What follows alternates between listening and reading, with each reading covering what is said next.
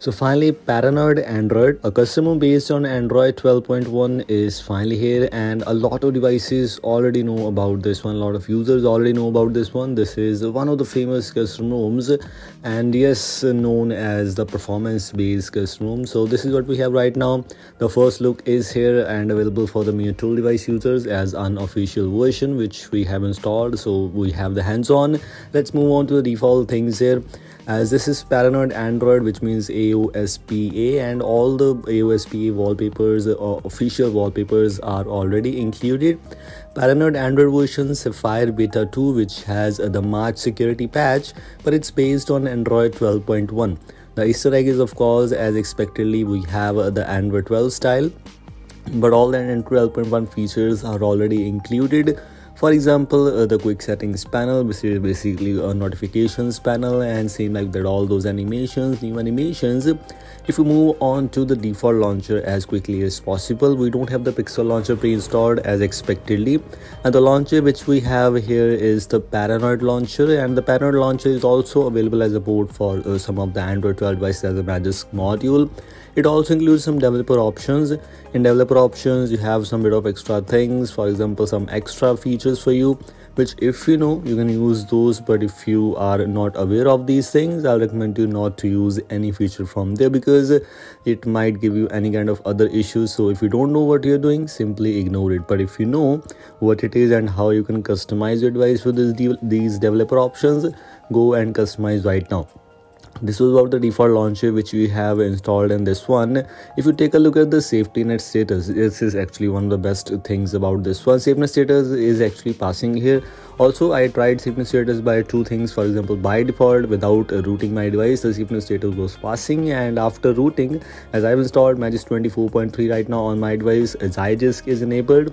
Universal safenet fix is also installed and safety net status is actually passing. So i'll be able to use banking apps on my device here we have the paranoid wallpapers. As expectedly i tried using the wallpapers from here. It's by default included and all the paranoid android customs we have these options most of the devices will uh, have the unofficial version for you. So if your device has the unofficial version and if you want to take a look at you have two sources. You can check out on telegram or you can check out on XDA so simply go and explore.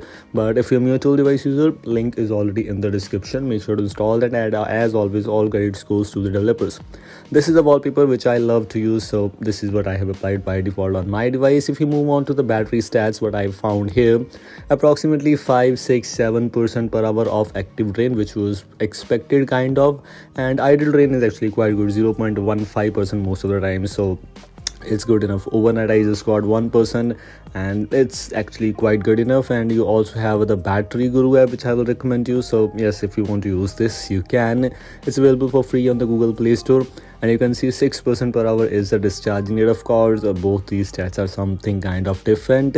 And as i mentioned earlier we am using the magisk version 24.3 so yes zygisk is enabled in settings. Let me show you. As you can see and force DenyList is also enabled after enabling all these things, if you want to pass SafeNet status, you need to install the module called Universal Safety Net Fix and how to fix SafeNet status on your device if you're having any kind of issues.